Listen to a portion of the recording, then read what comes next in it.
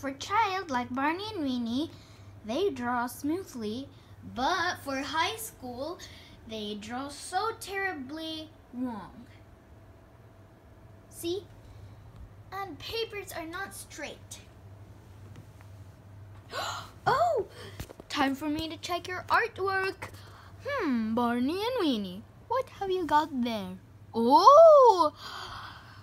Very nice, bravo! Here's your gift of reward. Yeah, we got to. We have a reward. Yay! I love it. Kinder Joys are my favorite. Hmm, now Blue Bear and Rainbow Bear, what about you? Um, this is our word. Ew, not good. What do you mean? It's just uh, Walt Disney Pictures. And mine is just Walt Disney Animation Studios. Still not good. Here's your reward. Ah, I can't believe we we draw that. also you.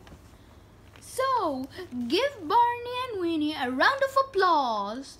Ick, no. Ugh, high schoolers, to the principal's office right now. Now I said. Fine, give me your artworks. I will throw that to the bin and you will go to the principal's office. Ah, nice work. Okay, that is what happens when you practice good. Yay. Time for you to sleep now. Childs, they are so sweet. But for high schools are in the principals.